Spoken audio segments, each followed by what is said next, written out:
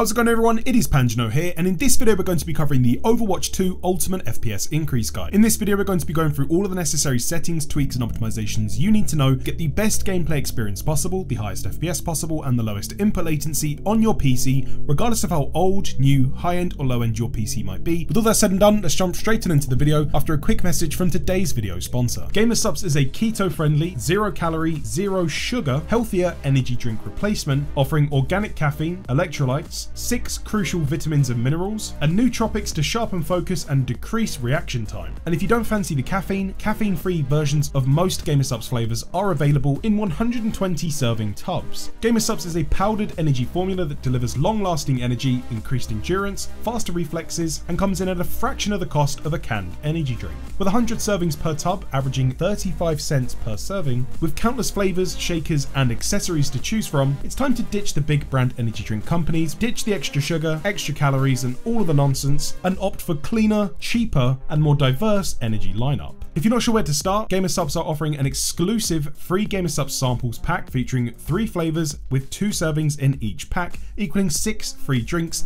using the link in the description down below. Click on the link, hit add to cart, you won't have to pay any shipping and you'll have samples arrive to your door completely free of charge so you can try before you buy. If you like the product, consider supporting the channel today using code PANJNO at checkout for 10% off or alternatively using the link in the description down below. And a massive thanks to GamerSupps for sponsoring today's video.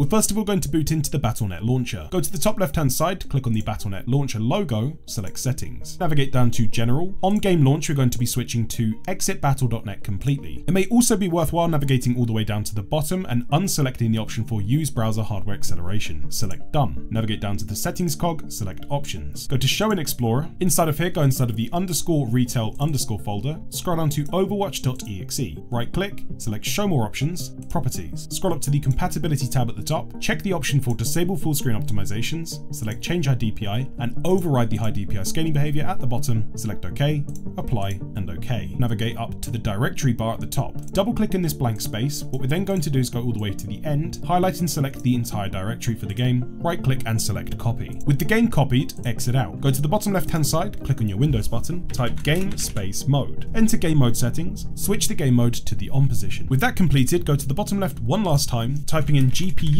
space settings, selecting the graphics settings panel. Inside of here at the top, if you do see the option for hardware accelerated GPU scheduling, I would recommend switching this on, booting into the training range of the game, trying that setting out. Regardless of that setting, we're also going to navigate down to browse, go up to the directory bar at the top, select and remove everything within inside of here. What we're then going to do is right click and select paste to paste in the Overwatch directory. Press enter. Select overwatch.exe, add. Scroll down to the application, click on options, select the high performance option which should be the fastest GPU you have installed, then select save. With that completed, exit out. Once you're in the main menu of the game we need to navigate down to the bottom right hand side to the menu. Inside of here go to options. Starting off with our video tab, first of all display mode. Make sure that you are utilising full screen as this will provide you with the lowest level of input latency on Windows 10 and 11. Next up is resolution. If you already know what your monitor's resolution is, select the monitor's resolution, but also make sure that you are selecting the highest refresh rate, which is the number in the bracket available for that resolution. So like here for me, you can see I have two versions of 4K, one's at 50Hz, one's at 60. I may also have 120, 144, 165, 240, 360 or higher. Next up is FOV. For the most part, this is personal preference. It will adjust performance ever so slightly, but set this to whatever you're comfortable with. Dynamic render scale is going to be set to off for now, as we're going to set this up later in the video. Render scale is going to be set to custom. Once you've enabled that, in-game resolution is going to be left at 100% for now. Frame rate, we're going to switch off automatic, set this to custom. We're going to be setting this all the way up to 600. Even if you aren't able to achieve 600 FPS, we're going to basically remove the FPS cap from the game currently while we change our settings, and if you want to cap your FPS at the end of the video, then we can reapply this at the end of the video with our new FPS. VSync I would recommend switching off unless you are using a fancy G-Sync plus VSync setup, triple buffering off. Reduced buffering is recommended for those of you that are playing that are not GPU bound. But for my recommendation, for most of you watching this, we're going to be switching this to on. Gamma, contrast, brightness, and HDR are all personal preference. Set them up however however you would like to. Once that's completed, select apply. This time navigate over to graphics quality. Now in this guide, we're going to be reducing most of the settings with inside of here because Overwatch, even at very low settings, still looks fantastic due to the fact that there isn't actually much texture quality inside of the game, meaning we can reduce a lot of the extra post-processing settings for a cleaner and more competitive setup without really reducing the visual fidelity of the game, but providing a massive FPS increase and fantastic latency reductions. High quality upsampling is going to be switched to AMD FSR. If in the future newer versions of FSR are available, select the latest or highest number of FSR which is available, which at the time of recording this video is 1.0. Image sharpening, we can change this later on, but for the most part I recommend setting this to about 25-30%. Texture quality I'd recommend setting to low, otherwise go with medium at the highest. Texture filtering quality, for the best FPS possible set this to low 1x, but for most people set this to either 4 or 8. Local fog detail is going to be switched to low to maintain competitive settings. Dynamic reflections are going to be switched to off. Shadow detail is recommended to have set to either low or off. For the best FPS possible, go with off. Model detail should either be set to low or medium. I prefer low. Effects detail, low. Lighting quality, low. Anti-alias quality, for the highest setting with inside of here, I'd recommend going with medium SMAA low, but this will come with a small performance penalty. For the best FPS possible, I'd recommend switching off if you don't mind a sharper looking game. Refraction quality is going to be switched to low. Ambient occlusion is either going to be set to off, but if this does make your image too flat, you could go with low at the highest. Local reflections, off. Damage effects, low. With those settings set up, select apply once again. You'll be notified you'll need to restart the game for them to take effect, and we'll do that in a moment. Head over to details. This is where we can set up a few performance monitors with inside of the game. I'd recommend switching display performance stats on, showing your frame rate, show your GPU temperature, show your VRAM usage, and I'd also recommend showing your network latency. Select apply. Before we continue on with the next game settings and to dial in our settings for our personal preference, we quickly need to restart the game. So press escape, select exit to desktop, yes. Head back inside of the Battle.net launcher, select play once again. For the rest of the in-game settings, we're going to boot into the training mode so we can see them being changed live and try them out so you can quickly and easily decide if you want to keep them or not. For this, head over to play, go to the far right to training, practice range. I'd recommend selecting a character in which you typically play, selecting OK,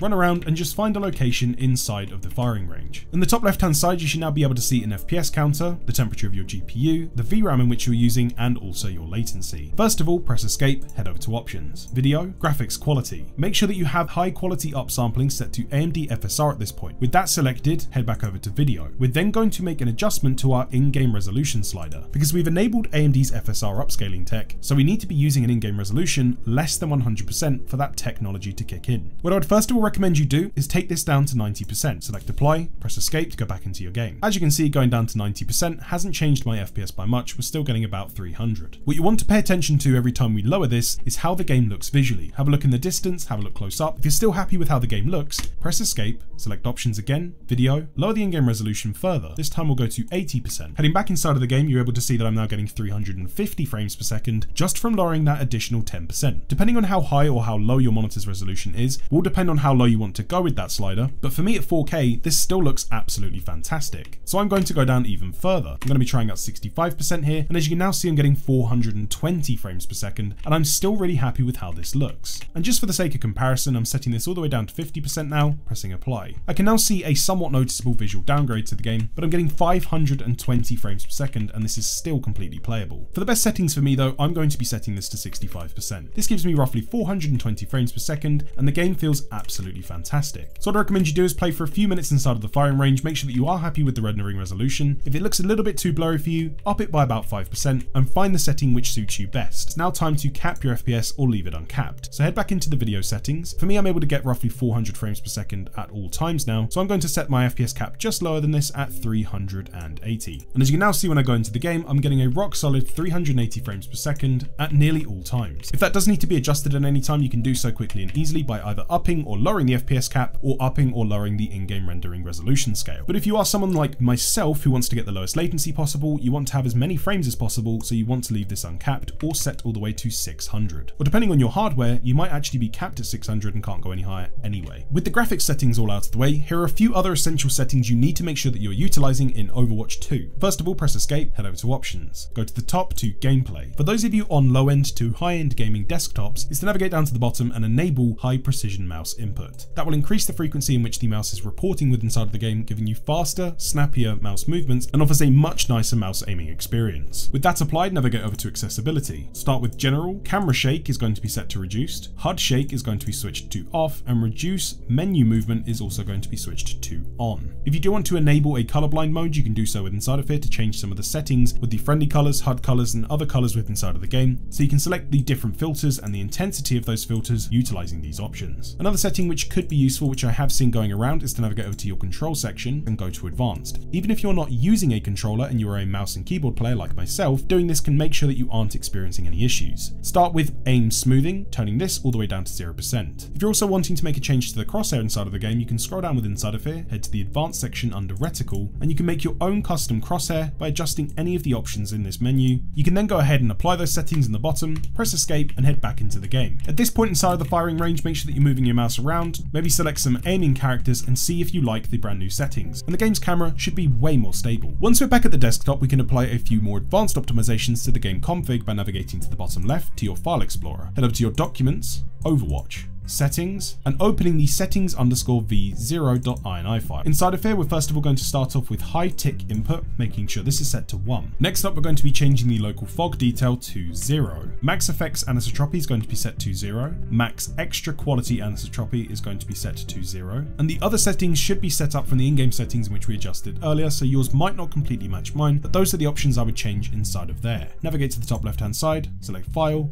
Save. At that point, I'd recommend booting into a live match, just go into an unranked, competitive, or arcade mode, get used to your in-game settings, adjust them slightly on the fly if you need to by adjusting the settings which are listed on screen. If you're still not completely satisfied with the FPS in which you are getting, there are a few other options available to you, but they will require you to go down some more advanced routes. For those of you looking to fine-tune your system and get the best FPS possible, you can also check out the Advanced FPS Companion Guide, either on screen now via the card in the top right hand side or linked in the description down below. In that video, we cover a ton of optimizations, all the way from basic Windows tweaks, settings and optimizations to BIOS optimizations which you can apply, recommendations for CPU overclocking, and advanced GPU optimizations to lower your CPU usage and get the best FPS possible from the GPU in which you have installed. And there you guys have it. That is the Overwatch 2 Ultimate FPS Increase Guide. If you have enjoyed this sort of content, please do consider leaving a like on the video and staying subscribed to the channel to be updated with other guides, whether they be for specific games or overall PC optimizations. Speaking of which, if you are looking to get more out of your games and get the best performance possible on your PC without spending a penny, consider checking out the two videos on screen now.